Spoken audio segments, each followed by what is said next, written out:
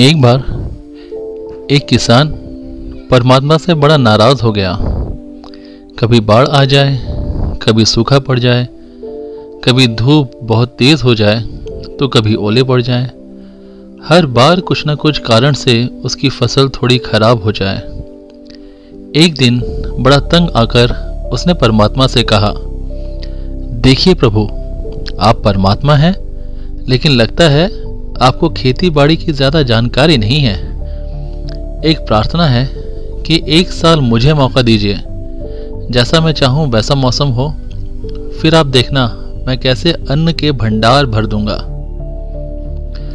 परमात्मा मुस्कुराए और कहा, ठीक है, जैसा तुम कहोगे वैसा ही मौसम दूँगा। मैं दखल नहीं करूँगा। अगले दिन किसान ने गेहूँ की फ़सल बोई। जब धूप चाही, तब धूप मिली। जब पानी चाहा, तब पानी मिला। तेज धूप, ओले, बाढ़, आंधी तो उसने आने ही नहीं दिए। समय के साथ फ़सल बढ़ी और किसान बहुत खुश हुआ, क्योंकि ऐसी फ़सल तो आज तक नहीं हुई थी। किसान ने मन ही मन सोचा, अब पता चलेगा परमात्मा को कि फ़सल कैसे करते हैं। बेकार ही इतने बरस हम किसानों को परेशान करते रहे। फ़सल काटने का समय आया। किसान बड़े गर्व से फ़सल काटने गया। लेकिन जैसे ही फ़सल काटने लगा, एकदम से छाती पर हाथ रखकर बैठ गया। गेहूँ की एक भी बाली के अंदर गेहूँ नहीं था। सारी बालियाँ अंदर से खाली थी। बड़ा दुखी होकर उसने परमात्मा से कहा, प्रभु, ये क्या हुआ? तब परमात्मा बोले, ये तो होना ही था। तुमने पौधों को संघर्ष का जरा भी मौका नहीं दिया। न तेज धूप में उनको तपने दिया, न आंधी ओलों से जूझने दिया। उनको किसी प्रकार की चुनौती का एहसास जरा भी नहीं होने दिया।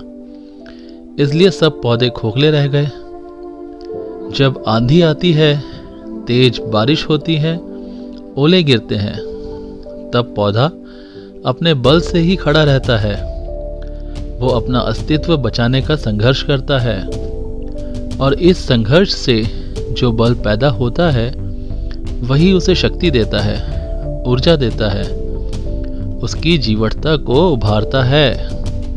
सोने को भी कुंदन बनने के लिए आग में तपना होता है, हथौड़े से पिटना होता है। अपने आप को गलाना होता है। तभी उसकी स्वर्णिम आभा उभरती है, उसे अनमोल बनाती है। उसी तरह, ज़िंदगी में भी संघर्ष ना हो, चुनौती ना हो तो आदमी खोखला ही रह जाता है। उसके अंदर कोई गुड़ नहीं आ पाता। अरे, ये चुनौतियाँ ही हैं जो आदमी रूपी तलवार को धार देती हैं, उसे सशक्त और प्रखर बनाती हैं। अगर प्रतिभाशाली बनना है तो चुनौतियों को स्वीकार करना ही पड़ेगा। अन्यथा हम खोखले ही रह जाएँगे।